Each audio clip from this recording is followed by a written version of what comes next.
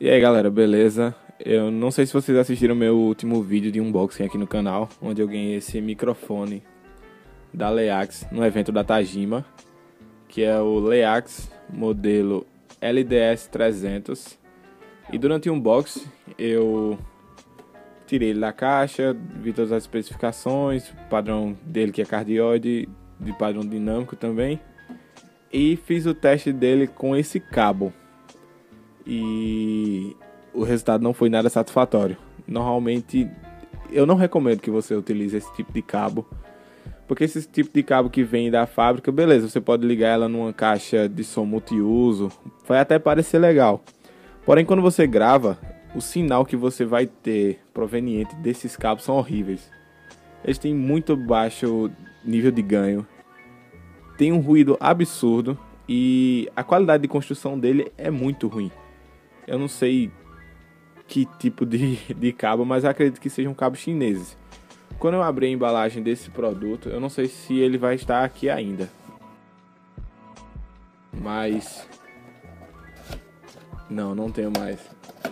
Mas dentro do, do manual, ele deixa claro que isso é um produto importado. Então acredito que esses microfones, não sei se todos os modelos, mas alguns deles vêm da China e a Aleax ela coloca sua marca em cima do produto e revende, como outras marcas de remarcação, tipo Arcano, Behringer e, e afins. E eu tentei colocar um cabo XLR, só que eu não prestei atenção durante o vídeo que meu cabo XLR tava com a solda fria. Foi eu que tinha sido feito o cabo e foi o primeiro cabo XLR que eu tenho feito na minha vida. E depois que eu abri, que eu analisei direitinho o cabo, ele já estava com algumas soldas desfeitas. Aí eu refiz a, a solda, tudo, e decidi testar e realmente é muito diferente. Eu vou dar um pause aqui no, na gravação do vídeo, vou ligar ele com o cabo original e vou mostrar a qualidade que tem para vocês verem. Eu não vou mexer em nada no ganho, só no volume, o ganho geral, o volume geral da mesa. Eu vou deixar no mesmo nível e vocês vão ver a diferença que é muito ruído com o cabo original. Esse ruído que vocês estão ouvindo de fundo é do ventilador. Vou ficar em silêncio para vocês darem uma olhada. Que está aqui atrás de mim e vocês vão sentir um ruído totalmente diferente durante o uso desse microfone. Yeah, yeah. Ah, yeah.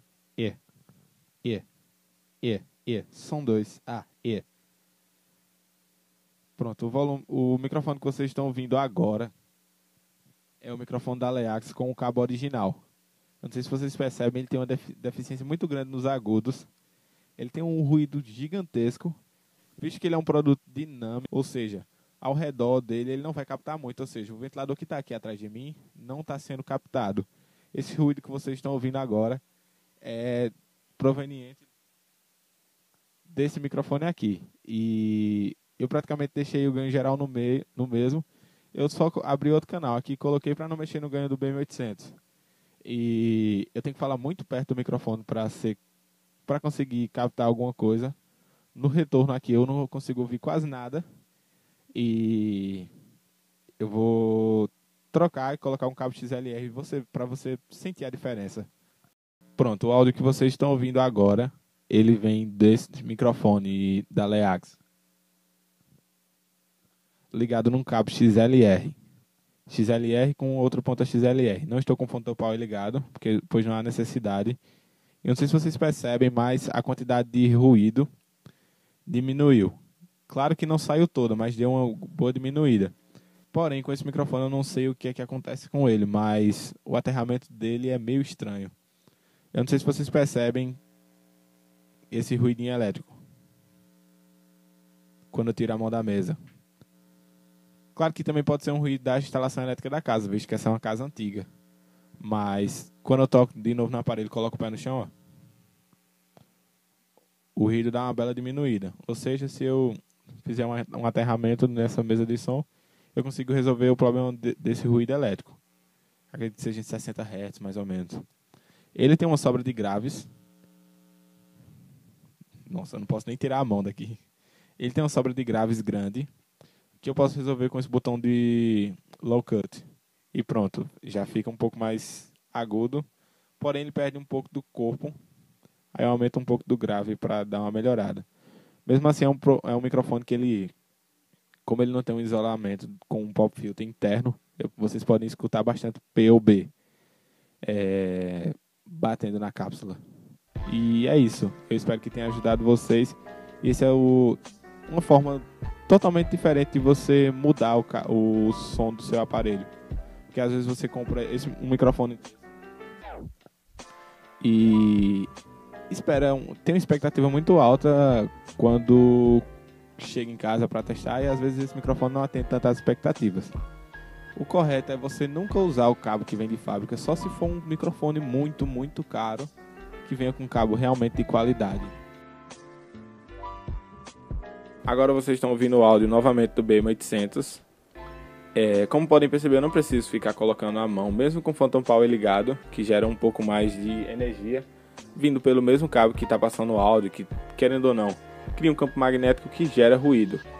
E mesmo assim eu tenho um isolamento muito melhor é, dessa questão dos ruídos. E esse microfone Leax ele pode servir para muita coisa. Desde que você faça o aterramento correto, ele tem um ruído elétrico próprio que não, não tem nos outros microfones que eu já testei. E querendo ou não, ele é um quebra-galho muito bom. Se você colocar um, um pop filter, aquelas espuminhas que vem nos microfones, ou você pode comprar até numa loja de materiais de áudio que vai resolver extremamente seu problema. Se você for usar para gravar instrumento, eu não recomendo tanto. Se for um violão, ele não vai captar muito bem. Mas um amplificador de guitarra, um amplificador de contrabaixo, se você der uma isolada bem é, e aterrar direitinho o seu equipamento, você não vai ter problema algum com ruído. E é isso, eu espero que resolva o seu problema, que você possa desfrutar realmente do produto, porque querendo ou não, não é um gasto muito alto com um microfone desses, mas às vezes você quer utilizar ele para melhorar a qualidade dos seus vídeos, melhorar a qualidade da sua gravação, do seu áudio, e ele não atende tantas as expectativas quando você utiliza com cabo original, ou seja, se você puder, compre um cabo Santo Ângelo com os plugs legais. Se você não souber soldar, mande seu pai, seu tio, ou leve para algum alguma assistência técnica que eles têm essa essa manipulação correta do equipamento e façam os cabos. Querendo ou não, você utilizar uns cabos balanceados, você vai ter um, um ganho muito maior do que ter com os cabos originais e você vai melhorar bastante a qualidade. Eu espero que você tenha gostado desse vídeo. Se gostou, deixa o like, se inscreve e compartilha o vídeo. É isso, valeu!